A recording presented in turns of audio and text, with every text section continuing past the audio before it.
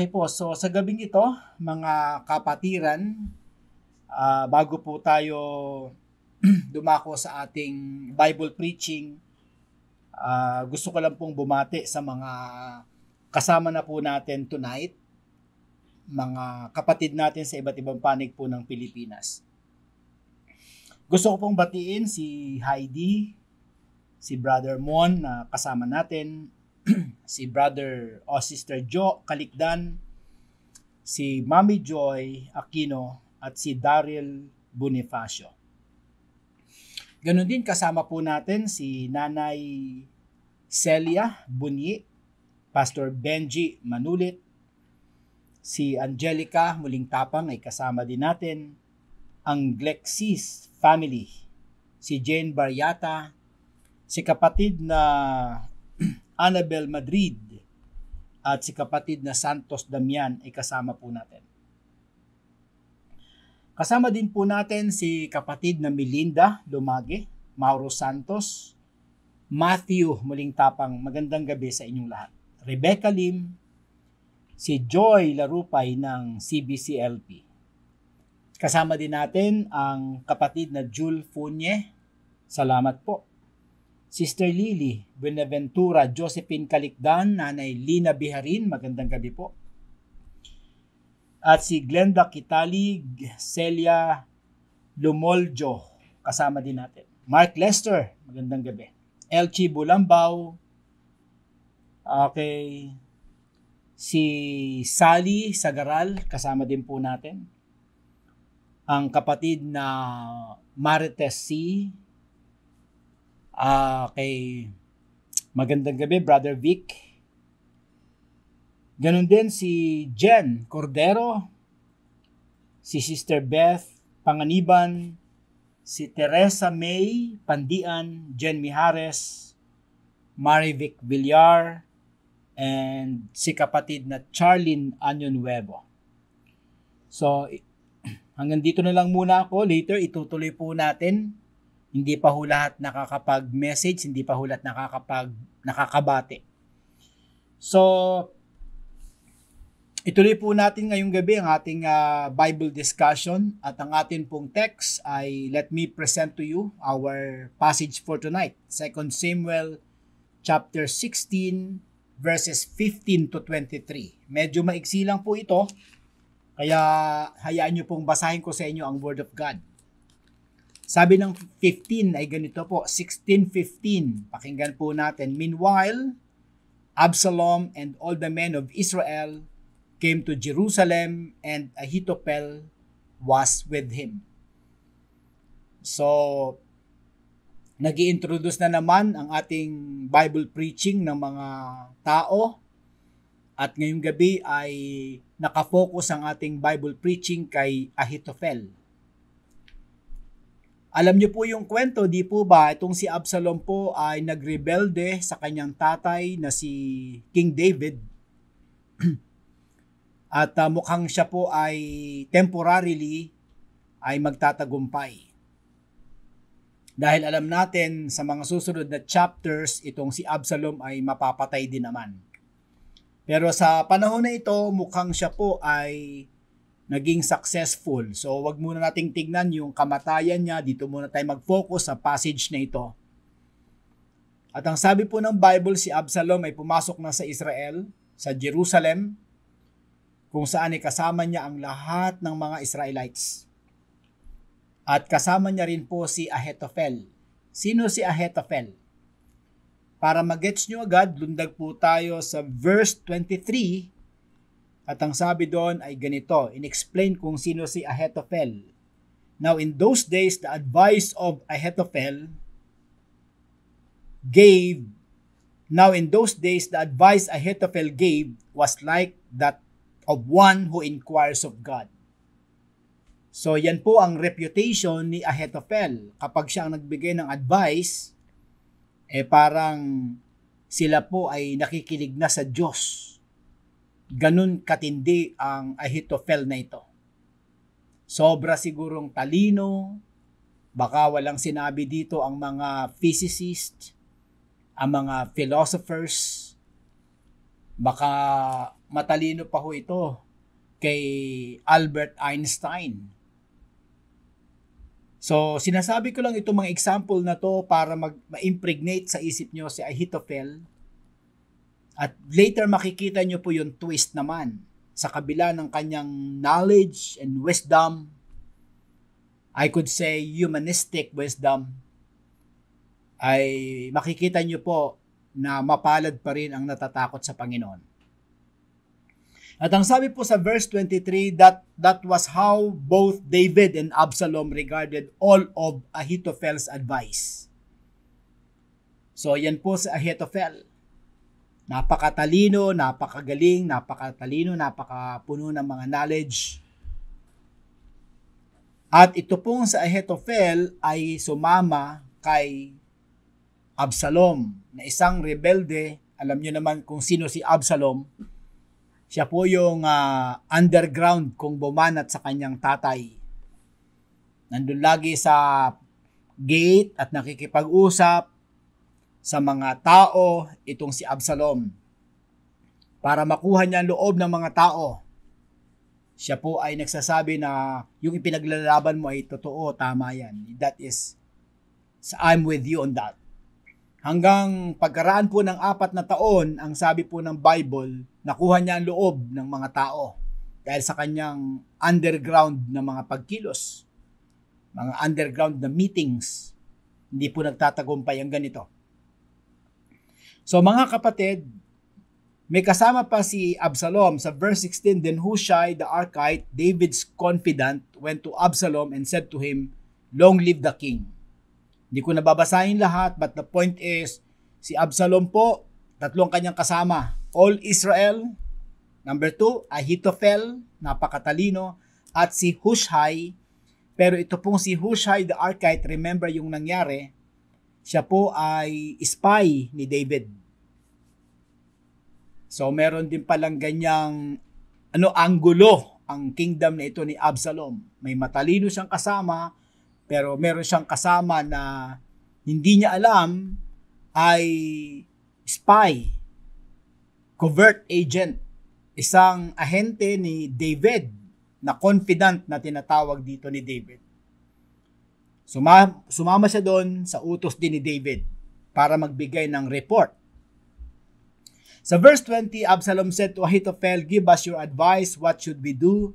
Ahithophel answered, sleep with your father's concubines who left to take care of the palace. Ayan na po. Nagbigay na po siya ng advice kay David. Tabihan mo ang mga concubine ng iyong tatay. So ngayon po, sabi natin kayo na napakatalino. Pero tingnan niyo po ang kanyang advice. Sa akin, ang tawag ko dito ay evil advice. At ang sabi, then all Israel will hear that you have made yourself obnoxious to your father. Parang magagalit ang tatay upang magawa mong parang uh, uh, parang para marinig ng Israel na parang ginagalit mo ang tatay mo. Yan. In the hands of everyone with you will be more resolute. Yung mga katulong mo lalong titibay. So they pitched a tent of Absalom on the roof and he slept with his father's concubines in the sight of all Israel. Sumunod naman si Absalom sa evil na suggestion ni Ahithophel. At ngayong gabi mga kapatid, ayan ang ating bibigyan po ng pansin. Sa aking introduction, ang sabi ko po, bakit kaya nadadala ng masamang tao ang isang tao? Bakit nga kaya? Yan po ang maganda nating talakayin sa gabing ito. Bakit kaya ang isang taong masa bakit kaya nadadala ng isang masamang tao ang isang tao? Ang sagot po natin dahil yung taong yon ay baka masama din. Parang uh, sabi nga ng kasabihan eh birds the same feather flock together. Ngayong gabi, ito po yung slice na ibabahagi ko po sa inyo. Ito yung katotohanan na medyo magbibigay ng warning sa atin At maraming masasagot din sa ating mga questions, ah, kaya pala, kaya pala. So kung babalik tayo sa ating mga sarili, pwede nating masabi yun, kaya pala ako naaakay ng masama, masama rin ako. Kaya pala ako naaakay ng madilim na tao dahil madilim din ako. Tama nga naman, paano mo paano maaakay ng dilim ang liwanag? Paano maaakay ng ng masama ang mabuti? So kapag naaakay tayo ng masama, it explains na masama rin po tayo. Ngayong gabi ito ang ating pag-uusapan at dalangin ko sa Panginoon na ito po'y tumusok sa ating puso. Hayaan yung masaktan tayo. Hayaan yung tayo po ay bombahin ni Lord ngayong gabi para magising po tayo. Kailangan natin itong mga ganitong turo para tayo po ay magkaro parang magising tayo sa bumalik bumalik tayo sa Panginoon at magkaroon tayo ng dependency sa Panginoon. Bakit ko nasabi itong statement na ito, mga kapatid? I'm coming from this passage. Diyan ako nagmumula. Makikita nyo kasi mga kapatid na talagang itong si, si Absalom ay talagang meron talagang nakinig po siya sa advice ni Ahithophel. Kaya nakikita nyo po na yung kanyang kaharian ay kasisimula pa lang, eh hindi na po stable. Dahil ang kanyang advisor ay matalino nga, pero mukhang ang kanyang katalinuhan ay hindi yung katalinuhan ng Panginoon. Sapagkat napakasama ng kanyang binigay na advice kay Absalom na magsisimula pa lang sa kanyang kingdom. Ang tema ko po ngayong gabi ay pinamagatan po natin na an evil man is easy to be swayed by another man. Sa Tagalog, ang isang masamang tao ay nahihikayat ng isa ring masamang tao. Kaya ang aking challenge ay we extremely need a new nature. So ngayong gabi yan po ang ating tatahakin. Kaya pala ang isang masamang tao ay nakakaakay ng isang tao dahil yung taong yun na naaakay niya ay masama din. Tama nga naman. Kung may magpaplanong magnakaw, yung kasama niya, mga magnanakaw din. Kung may magpaplanong pumatay, magdroga, gumawa ng masama, yung mga sasanib doon, same mentality. Sabi nga, bird the same feather flock together. Siyempre, kung iba yung galaw mo, iba yung racket mo, o iba yung iyong bisyo, o iba yung iyong lakad, eh hindi ka sasama doon. Di ba? Kasi hindi yun panalo eh, para sa iyo. Hindi yun tama. Hindi yun pasado sa iyong panlasa. Halimbawa, sinabing, halimbawa, ako niyaya mo, Pastor G, magdroga tayo. O, bakit ako sasama? Eh, hindi naman yan yung aking, that's not my style. Hindi yan ang aking gusto, hindi yan pasado sa aking panlasa. We can we can give more more illustrations. So sa gabing ito mga kapatid, ang aking magiging challenge ay kailangan po natin ng extra, kailangan natin extremely ng bagong kalikasan. Pero bago tayo pumunta ron ay uh, pag-usapan muna natin itong ano to mga kapatid. Itong mga pangyayaring ito dito. Bago po ako magpatuloy, ay uh, babati ulit tayo sa mga sumulat po dito sa ating YouTube channel, mga comments, greetings. Si J. Sir Funye, kasama natin. Si Titus Pandian, si Heidi, Nay Mercy, Sorry Aloot, Jeline Di Guzman, Pastor Albert Campo, George Malate, Dalia Bonifacio, si Ray Pares, Pastora Phoebe, mapagpalang gabi po. Pastor Choi, my partner, see you on Sunday. Emily Carmelina, Kapasya James, Marlon Laiko, magandang gabi po. Uh, sabi niya rito, blessed, blessed night, Pastor, by God's grace. Mamimit ko po kayo this coming Sunday. God bless po. Hindi ko alam kung taga saan ka kapatid. But uh, by God's will, we will see you. Muwana, Marie Rabanal.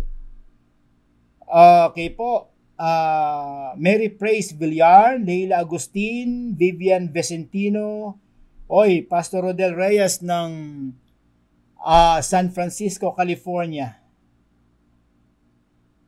Gladys Dicena, magandang gabi po. Pine Abad and uh, Deaconess Badet Asebes, magandang gabi po.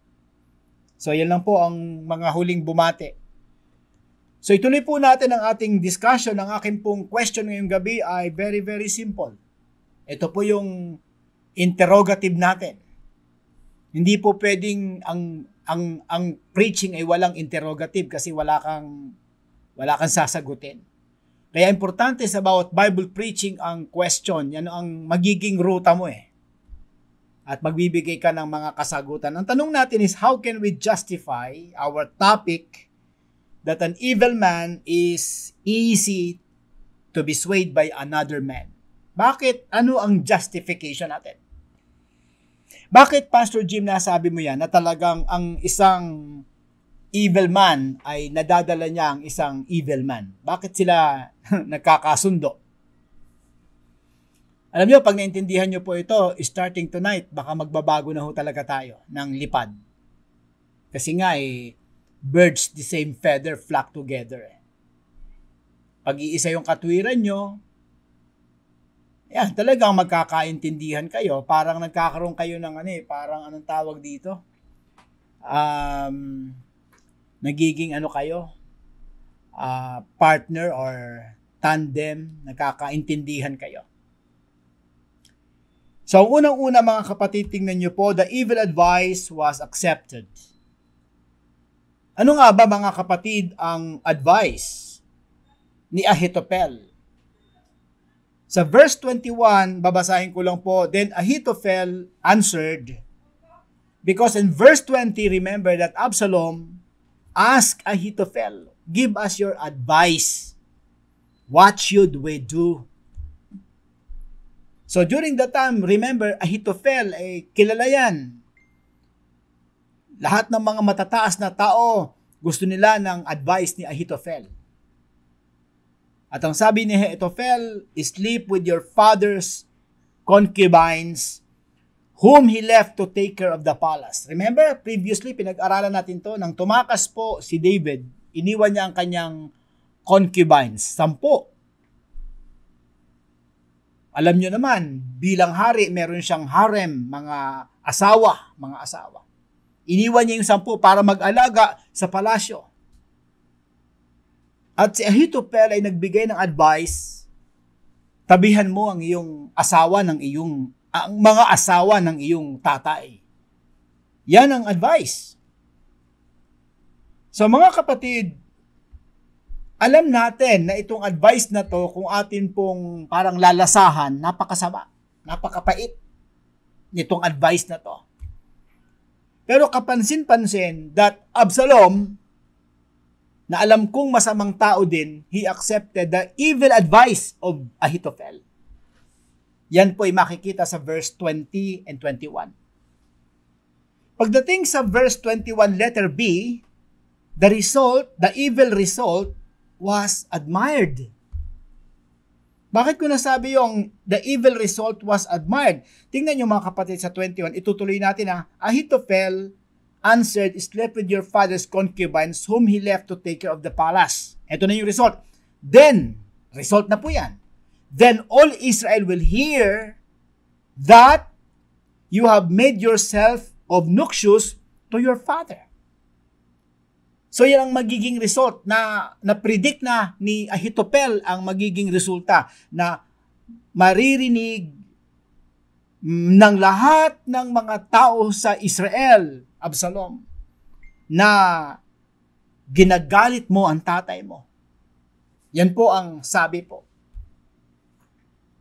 At ang sabi pa dyan ay, And the hands of everyone with you will be more resolute Kapag sinabing resolute, lalo silang magiging purposive, determined, decided. Sapagkat nagpakita ka ng asim, nagpakita ka ng tapang, nagpakita ka ng talagang kalakasan ng loob. Imagine, tinabihan mo ang mga asawa ng iyong tatay.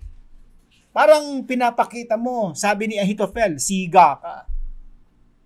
Kasi sa ating context, sa Pinoy context, napakasama nun sa atin eh, yung tatabihan mo yung asawa ng tatay mo.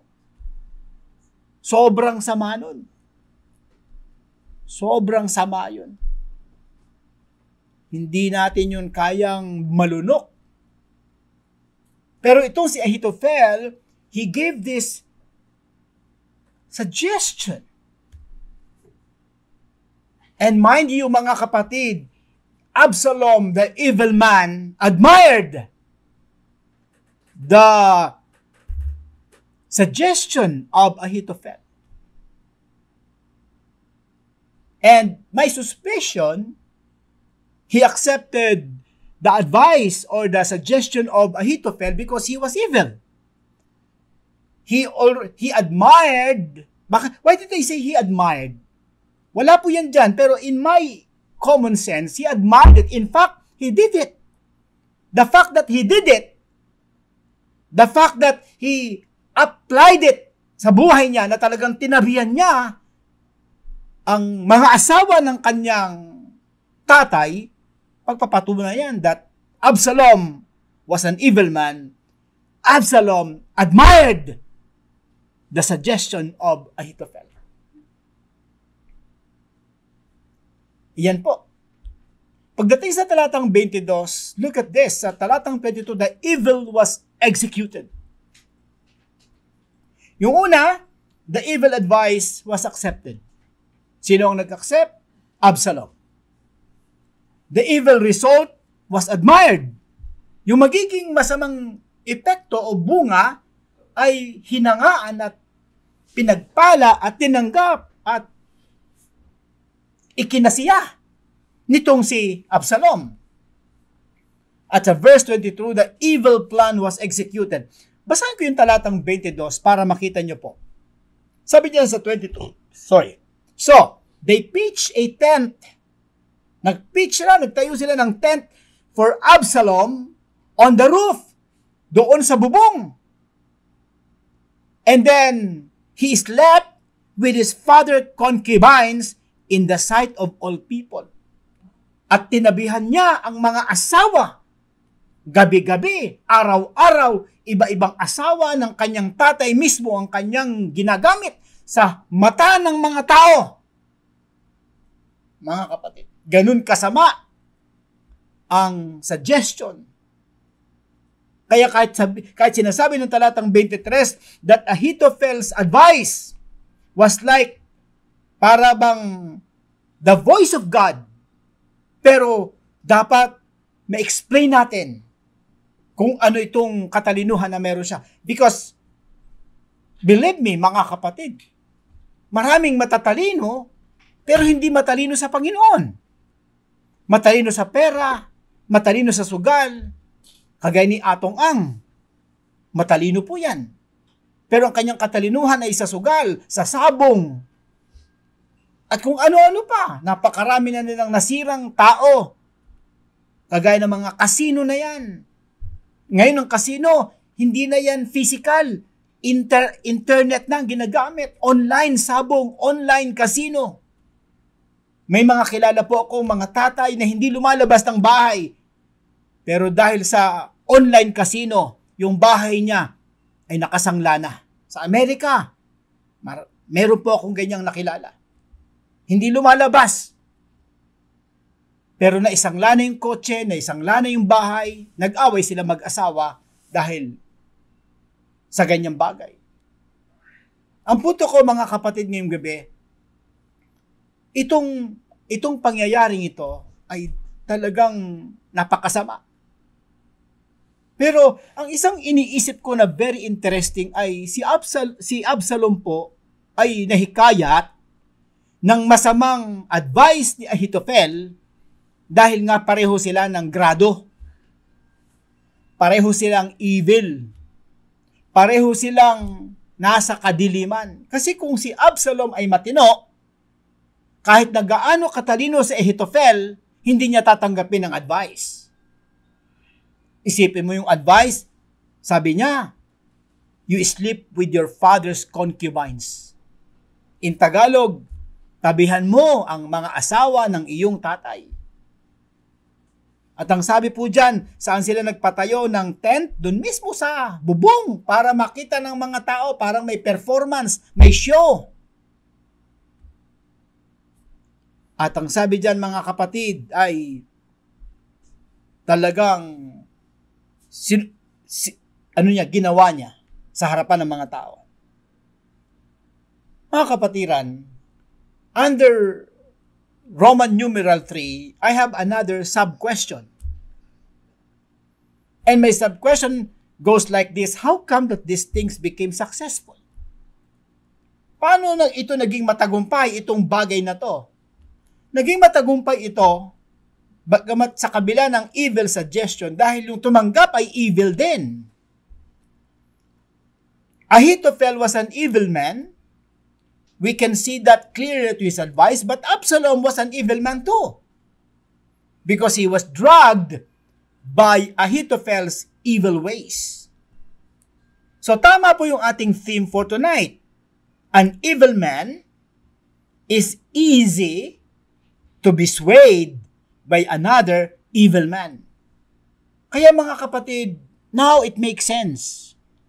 Bakit may mga lalaki na sumasama sa mga barkada na hindi maayos dahil yun ay nakapasa sa kanyang standard, pareho lang sila ng lipad. Pareho sila ng framework. Pareho silang evil. Sapagkat kung ito pong si Absalom ay matino, sabihin niya, no, no, no way, no way.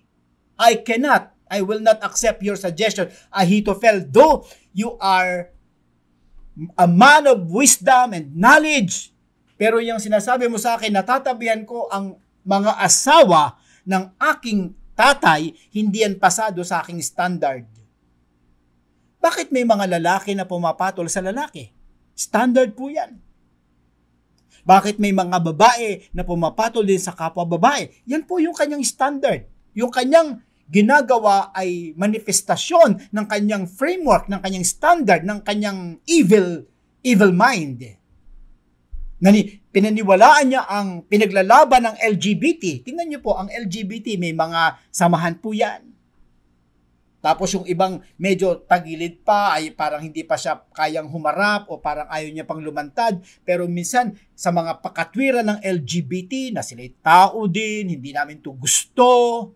Huwag niyo kaming hatulan. Nagiging totoo lang kami. Kaya kami lumadlad pag may mga babae na medyo hindi pa puno ang kanyang conviction, parang alanganin pa. Pero habang nakikinig siya na nakikinig, siya po'y na-enhance, siya po ay parang na na-enhance o na-train o nasasanay, ang kanyang conviction ay nabubuo, isang araw, sasama na rin siya. Doon sa mga evil thoughts, evil ways, mga evil suggestions, dahil sa totoo lang, evil na rin siya. Pero kung siya maka-Diyos, sasabihin niya, no, no way. Dalawa lang ang ginawa ng Diyos, lalaki at babae.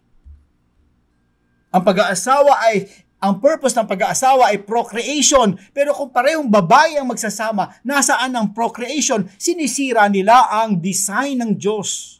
Kapag parehong lalaki ang magsasama, nasaan ang design ng Diyos? Nasaan yung procreation? Purpose of God. Guys, I want to na, I want to cite a verse from James chapter 1. Bakit nga ba ang tao ay natutokso? Tingnan niyo po mga kapatid.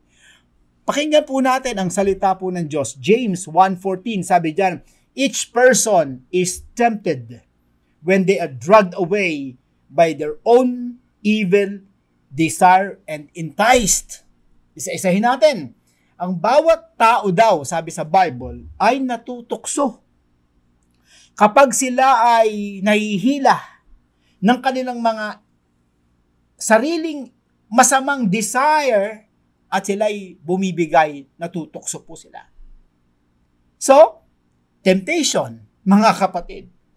Yan, yan daw po ay yan po ay buka na lang, pintuan lang yung temptation. Pero bakit siya pumapasok sa pintuan ng mga mga tukso na to kapag daw po siya ay nahihila ng kanyang sariling kasamaan, evil desire niya. So tama po ang ating theme. A man, an evil man is easy to be swayed by another evil man. Nagkakaroon sila ng parang point of contact. Nagkakaintindihan sila. In fact, may mga tao nga na mata lang Nagkakaintindihan na sila. So, napaka ganda na ngayong gabi ito po ay ating mabuksan para makita po natin ang ating mga sarili. Guys, ano ba ang ini-expect natin sa ating mga sarili? Without Christ in our life. I'll, I'll give you a verse mga kapatid at tinatawag ko itong the horror of self. Alam nyo ba nakakatakot ang ating mga sarili? Tingnan nyo mga kapatid. Ephesians chapter 2 verses 1 to 3. Sabi diyan, As for you, you were dead in your transgressions and sins. Mabibigat ang ginamit na salita, dead, kamatayan, patay, dahil sa pagsuway sa ating mga, sa, at, sa, sa ating mga pagsuway at kasalanan. So ang tao nagkakasala ay patay in the sight of God kahit malakas ka, malaki biceps mo, maganda yung abs mo, in the sight of God, if you are under sins, you are living in sins, spiritually speaking, wala po itong wala po itong ka, kas, ka ano, wala pong katamis-tamis itong sasabihin ko sa inyo mga kapatid, but we are dead in the Lord. Sabi diyan, in which you used to live when you follow the ways of this world, nang sumunod tayo sa mga daan ng sanlibutan. Ano ba yung daan ng sanlibutan? Matindi po yung daan ng sanlibutan. Kalokohan, kasalanan, kasamaan. Yan po yung mga daan ng sanlibutan. Paninira, pag-iimbot, pagnanasa ng hindi sa iyo, pagnanakaw, pagmumura, pagre-rebelde. Lahat ng yan, yung ways ng sanglibutan, din yung ways ng sanglibutan. Sinuntok ka, suntukin mo rin. Ways of the world yan. Ang ways of the world, huwag kang paiisa. Pag binanatan ka ng isa, dalawahan mo agad. Yan ang ways of the world. Nako, maraming ways of the world. Ang ibig sabihin ng ways of the world sa ibang salita, pattern. Pattern of the world po yan. Nang sumusunod tayo sa pattern of the world, the ways of the world, at sinusundan natin yung ruler of the kingdom of the air, si Satan po yan. The spirit, si Satan pala isang spirit who is at work who is now at work in those who are disobedient. Kaya nakakatakot po pag ikaw ay disobedient. Kapag ikaw ay masuwayin sa Diyos, wala kang sinusunod sa Diyos, ayaw mo makinig sa Diyos, ang tawag sa iyo ay disobedient. And to be honest with you, I will tell you this without giving, without putting sugar. Satan is at work in your life. Alam nyo ba na ang naging problema mga kapatid sa Garden of Eden? Disobedience. Yan lang po yan. Disobedience.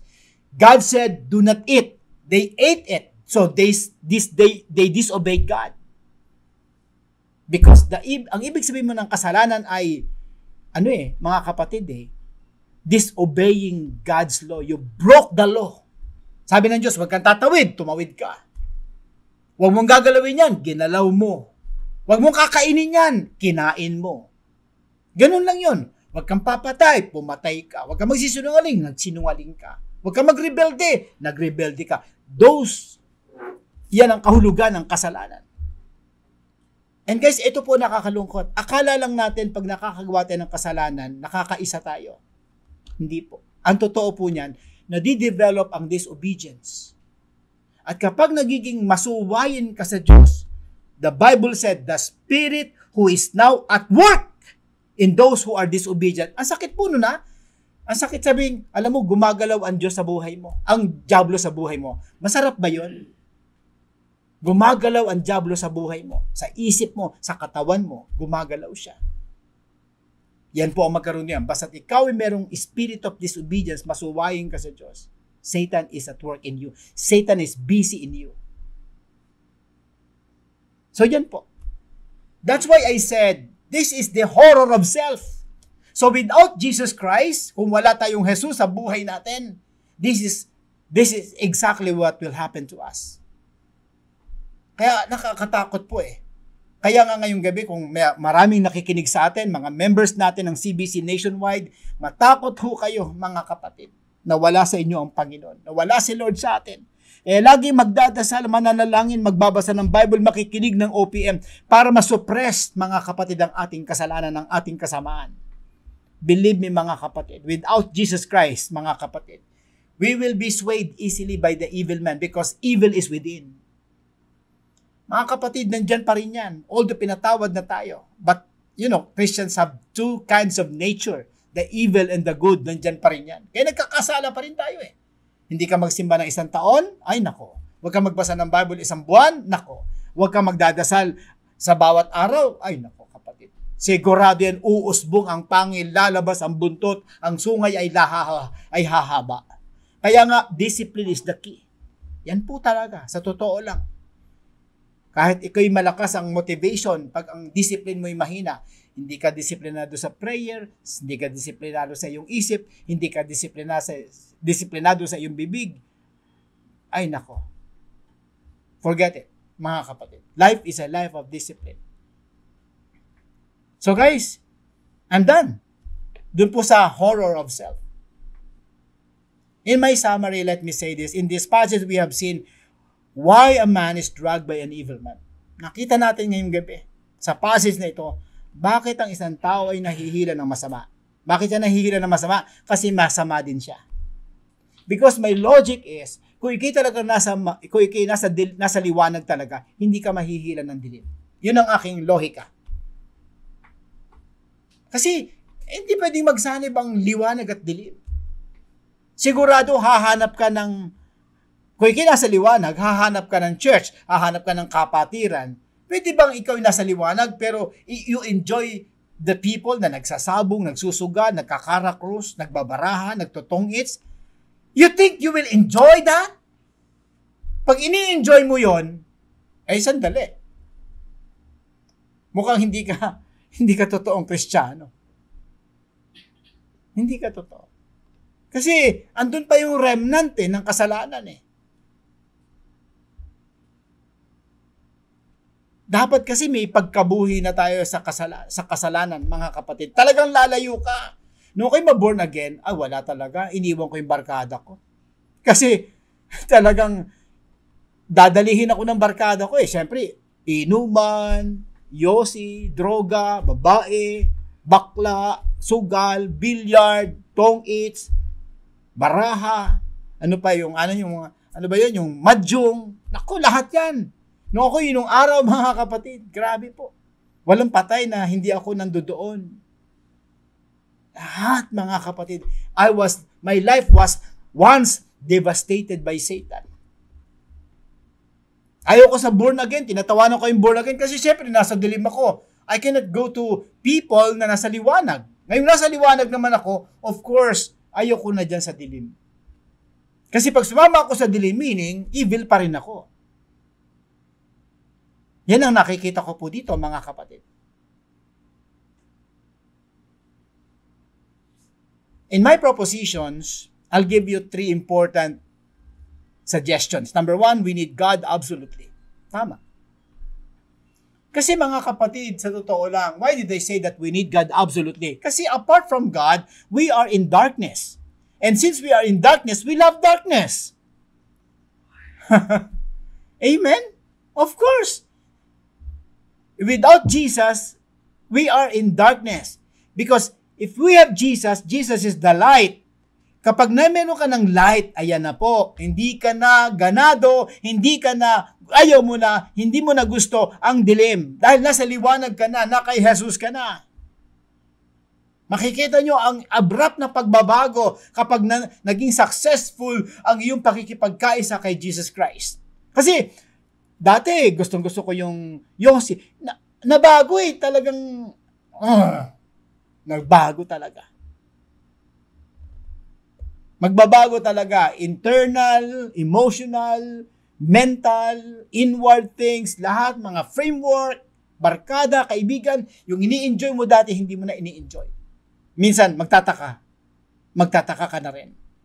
So we need God. In John 5.24, sabi niyan, Very truly I tell you, whoever hears my word and believes him who sent me has eternal life and will not be judged, but has crossed over from death to life. Pansinin niyo yung dulo. Ikaw daw ay tatawid mula sa kamatayan patungo sa buhay. Ang tanong, nakatawid ka na ba? Mula sa kamatayan patungo sa buhay. Kung ikay nakatawid na mula sa kamatayan patungo sa buhay, wala ka na sa kamatayan, wala ka na sa kasalanan, wala ka na sa bisyo, wala nang gana, wala ka nang gana dyan. May gana ka pa ba dyan? Ay nakatawid ka na eh. Ano ibig sabihin nung nakatawid ka na? Mula sa kamatayan hanggang sa, bu- sa buhay, nakatawid ka na. So, bakit ka babalik dun? Eh, itinawid ka na ni Lord. Besides, ayaw mo na yun. Kahit gusto mong bumalik, o oh, pilitin kang bumalik, hindi na talaga pwede. Kasi, iba ka na eh. Pare, inom ka naman. Hindi na talaga eh. Pare, wala na eh. Wala na eh. Wala, wala ka ng gana. Kasi nakatawid ka na mula sa kamatayan patungo sa buhay. Mula kay Satan patungo kay Jesus Christ. Pero ang tanong, bakit may mga tao, ako nakikita ko maraming dapat ayusin dito mga kapatid. Bakit may mga kristyanong lumulubog? Madaling sabihin kung madali mga kapatid na yung lumulubog na yan eh, eh kasi si Pastor Jim eh. Eh yung church namin hindi ako pina-follow up eh. Ay madaling mag, mag ano, mag-blame. Pero trust me mga kapatid, it's a choice. Life is a choice. In that particular point. In, pagdating sa bagay na yan, pinili mo yan. Tinanggap mo yan, parang binalikan mo yan, because may evil sa buhay natin na nag-a-attach sa atin sa another evil na nagiging tali natin. Kaya alam niyo mga kapatid, alisin niyo po yung mga galit, kasi tali yan eh. Yung mga sama ng loob, give up niyo na yan.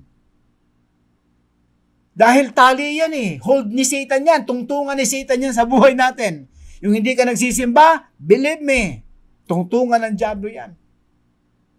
Yung mga maliliit nating bisyo, magiging foothold yan.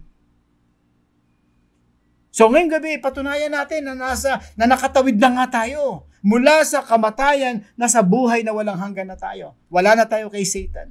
Ang pinaglilingkuran na natin ay si Lord Jesus Christ. Acts 2.40, ang sabi po doon, with many other words he warned them and he pleaded with them, save yourself from this corrupt generation. So mga kapatid, iligtas natin ang sarili natin sa corrupt na generation na ito. Grabe po ang sa itong generation natin ito. Napaka-corrupt. Politiko, hindi naman siguro lahat. Pero sabihin natin 99%. Lahat, napaka, napakarami niyan po. Puro corrupt. Hindi naman siguro lahat, pero ang liit-liit ng porsyento. Meron pa ba ngayong hindi corrupt? I don't know. Ah, hindi na nga ako sure. Baka, baka to be, siguro, palagay ko, wala na eh. Kung meron man, sino? Nagdududa ako. So mga kapatiran, iligtas natin ang sarili natin sa corrupt generation na to. O pinapasok ngayon sa sa ano sa sa sa ano sa sa sa house ang pagpapasa ng divorce. Grabe po.